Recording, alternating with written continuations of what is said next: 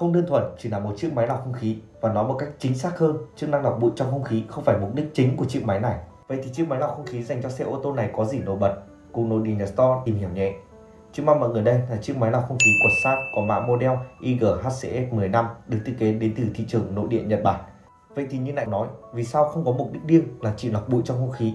Là bởi vì model lọc không khí này đã được Saab tích hợp thêm công nghệ phát ion plasma booster với mật độ 25.000 ion trên 1 cm khối. Công nghệ này sẽ giúp tạo ra các ion OH trừ và H cộng và sẽ bám sâu vào các vi khuẩn, virus, chất gây mùi và phân hủy chúng.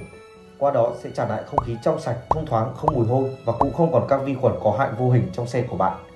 Và điểm nổi bật của chiếc lọc không khí ô tô này khác với các mẫu có trên thị trường là gì? Đó chính là nó được trang bị thêm 3 tấm lọc trong máy.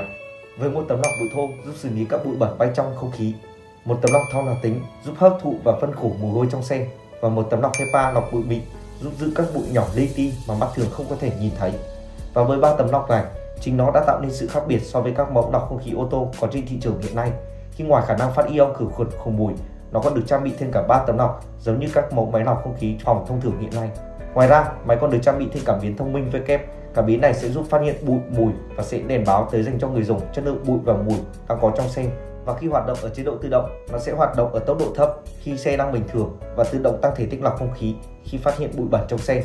Tính năng đồng bộ cùng với động cơ xe cũng rất tiện lợi dành cho người dùng khi sẽ giúp ngừng hoạt động khi tắt máy cũng như là hoạt động trở lại khi sử dụng xe.